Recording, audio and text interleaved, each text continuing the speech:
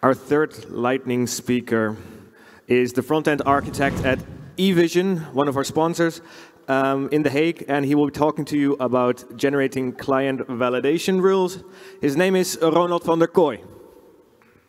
Hi, my name is uh, Ronald van der Kooy. I'm a uh, full-stack developer who loves React.js, right? Um, you can find me on Twitter um, and on GitHub.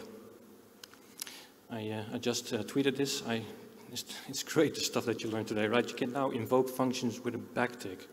Never heard of it. This is about generating your client validation rules. Okay, I work for a company called eVision Industry Software. Um, we build health and safety software for the uh, oil and gas industry. Uh, pretty, pretty neat. Um, we're a pretty young company, eight years now, um, 200 plus employees. Uh, we have a great office in the city center of The Hague. And we have over 30 plus nationalities working for us. And about two years ago, we were facing some uh, performance-related challenges. We were building a typical enterprise forms-based application, kind of outdated stack. We were seeing uh, high, uh, high CPU spikes on our application servers. Um, then that's basically the nature of forms-based applications, right? very stateful, session-based, so we had to do something about it. We completely rewrote our application, uh, our front-end stack, and we chose React at that time, uh, mostly because of the uh, simple component model. It was very fast out of the box, testability was great, and I think what's very important is that new devs can really, really, really easy adopt to the, uh, to the React stack. The uh, results were great, as you can see. But then we had to handle the validations. Imagine this, we have a, a, product which is very, very configurable per customer, per vertical, even per region. And this is all uh, configuration based. We have a huge configuration file which contains all the rules and validations. On top of that, we wrote our own domain specific uh, rule engine. And this was only available on the backend. So we, now we needed that on the client. So how would you do that?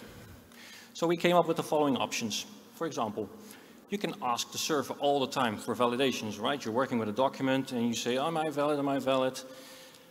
Not really good, becomes a bit chatty and we will be seeing 503 errors very soon.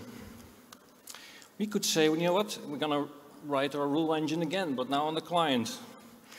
Nah, we would have two rule engines now. We can manually write them per customer that would be hard to maintain, so we would be firefighting this all the time. You can also do nothing, right? You, uh, you can say, we're working with a document and I send it to the server when I'm done, and the server tells me if it's right, if I can continue. That's very old-fashioned. So we chose something in between. We said, you know what? We're going to generate this.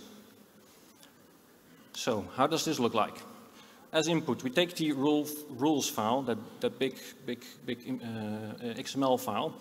We wrote a C Sharp to JS generator, which generates a JavaScript file for you and serve that as static content to the browser. So your React app has access to it now.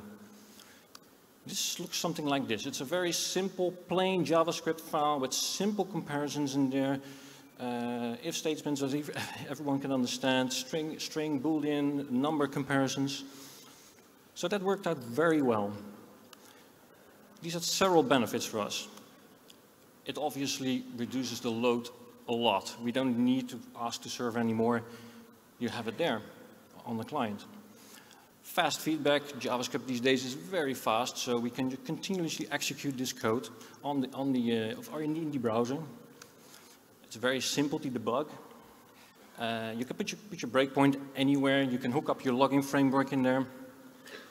And we still have a validation fallback because, yeah, you might not be able to generate everything, uh, but there's always the server for you uh, as, a, as, as a last, uh, last defense, right? And we could regenerate it. When the config changes per customer, we just regenerate the file and you will get the new validations. This looks something like this. So you're on the client.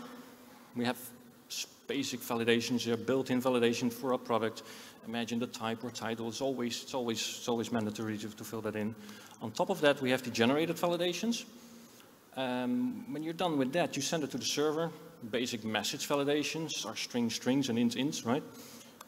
And then the built-in validations on the server kick in, and on top of that is the actual engine. That results in uh, a consistent way of showing the validations to the client. Uh, he can't tell where it's coming from, so yeah, that works very well.